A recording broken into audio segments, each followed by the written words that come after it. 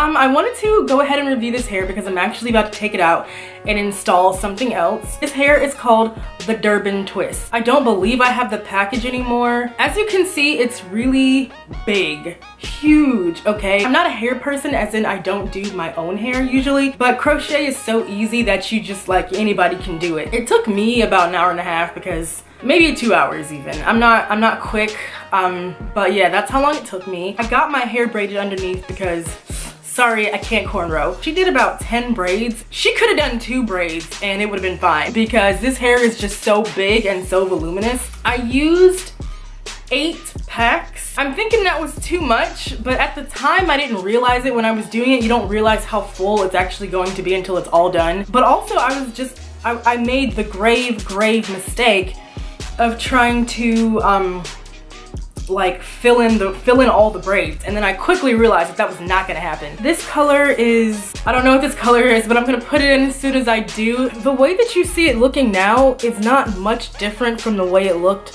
when I initially installed it. I mean, I've had it in about five weeks now. The reason that I wanted to come on here and review the hair as it's older is because I see a lot of videos for hair that like people are installing it for the first time on camera and that's their only review. You know, they've had it in for a few days and they come on and review it and that's their only review. You never really get a chance to see how the hair holds up over time. Like I said, I've had it in for about five weeks and this is what it's looking like.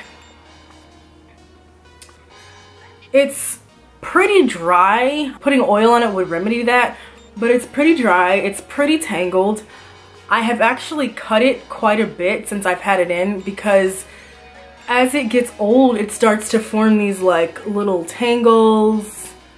Um, as you can see, this side is especially uh, nappy and, and kind of matted even in some areas. The curls aren't as defined as they once were, but it does look pretty realistic. Everybody thinks this is my hair. White people, black people, and you know how hard it is to fool black people when it comes to fake hair? But black folks are thinking that this is my hair. So that tells me that this is pretty good hair. It's very, very big. And a lot of people when I first got it were like, ooh, that's really big. But I like big hair, makes your body look smaller. I really uh, enjoyed this hair.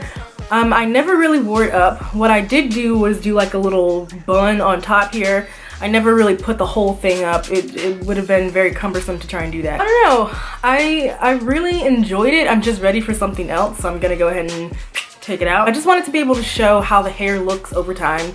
And you know, not bad, not bad. Um, It probably would have been best had I used less hair. I think I used eight packs. If I would have used less, it would have been, you know, a lot more tame and a lot less voluminous and perhaps it would have held up better. Also, um, it probably would have held up better had I tied my hair down more than like three times in the past five weeks. I didn't really tie this hair up. I didn't do a scarf, I didn't do a bonnet. Usually I was just like, and I fall out and I go to sleep. It probably would have helped the longevity of this hair had I actually tied it down, but I didn't. And I think it still looks pretty okay. Um, I really like this color. It's kind of an ombre root. The root is a 1B. The rest of it is, God, I don't fucking know. I don't remember. There was a name and like I said, I'll put it in here when I remember. Were I to do it again, I would use less hair and I would also tie it up. Just tie it up, girl. It'll stay, it'll stay nice a lot longer if you just tie it up. But yeah, really like this. And that's all I wanted to come on here to say. I bought this hair at beautysupply4u.com. It was a, a online uh, beauty supply store that I had never heard of, but this hair was $1.99 a pack. That's right, $1.99 a pack, a dollar and 99 cents per pack, about $16 total for all the packs. Shipping was $13, but it was like next day or two day delivery. And I mean, even with the $13 shipping, the fact that this hair only costs $1.99 a pack is, is forgivable. It's forgivable. So it came quickly, the hair was cheap, it's held up pretty well. Um, and so yeah, I really like it. I'm gonna be installing this again.